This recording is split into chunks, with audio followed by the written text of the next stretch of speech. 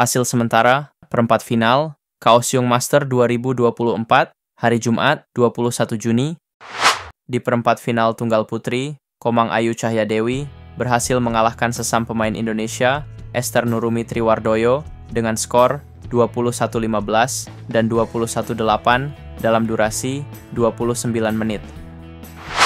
Selanjutnya di babak semifinal, Komang Ayu akan melawan pemain Chinese Taipei, Wen Chihsu, head-to-head 0-1 untuk keunggulan Wen Chihsu.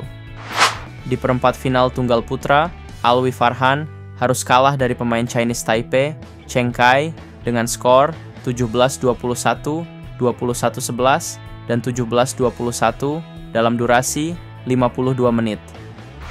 Di perempat final ganda campuran, Yang Po Xuan, Huling Fang berhasil mengalahkan pasangan Hong Kong, Lui Chun Wai, Fu Yan dengan skor 21-19 dan 21-15 dalam durasi 28 menit. Cheng Kai Wen, Liu Xiaoyun berhasil mengalahkan pasangan Malaysia Wong Tianchi, Lim Chiu Sien dengan skor 21-16 dan 21-18 dalam durasi 32 menit. Poli Wei, Chang Ching Hui berhasil mengalahkan sesama pasangan Chinese Taipei Chiu Xiang Chie, Lin Ji Hyun dengan skor 22-20, 18-21, dan 21-13 dalam durasi 54 menit.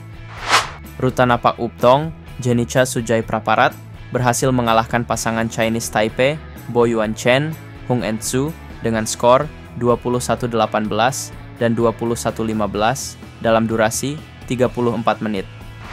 Di perempat final tunggal putri, Pai Yupo berhasil mengalahkan pemain Vietnam, Phuthi Trang Be dengan skor 16-21, 21-13, dan 21-13 dalam durasi 50 menit.